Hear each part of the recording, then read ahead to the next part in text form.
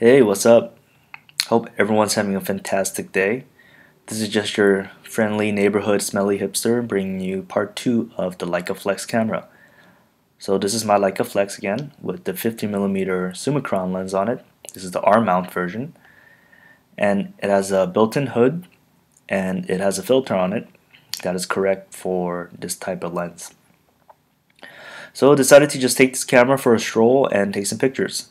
I had a GoPro mounted to it so that I'm able to show you guys uh, what the process was while I was using this camera.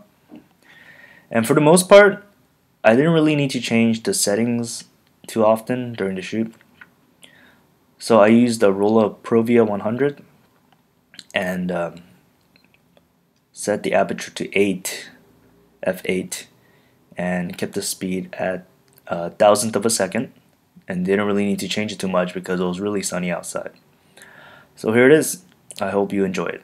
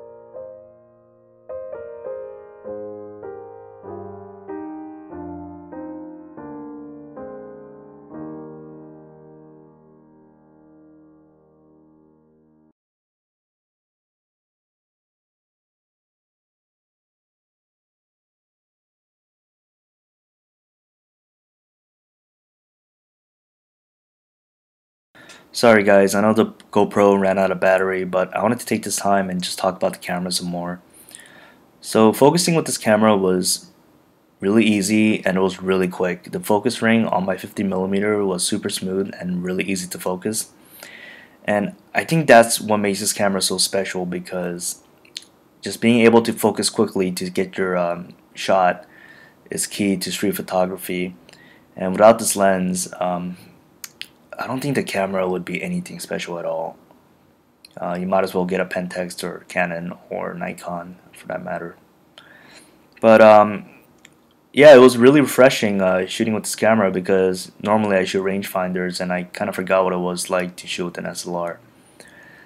And the only downside to this camera is um, the light meter because the battery that is required to operate this light meter correctly with the correct voltage isn't manufactured anymore.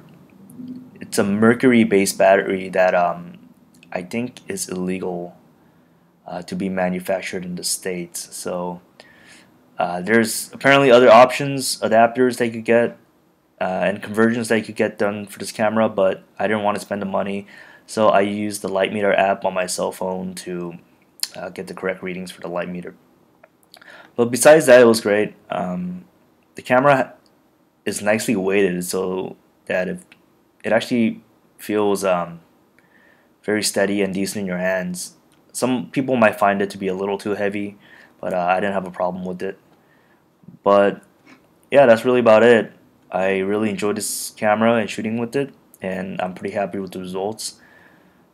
And if you guys want one, uh, just go ahead, go on eBay or any of the camera forums or sites and get yourself a Leicaflex because it is a good alternative to the M-mount rangefinder. And that's it for this video. If you like it, give me a like, leave a comment. Thanks.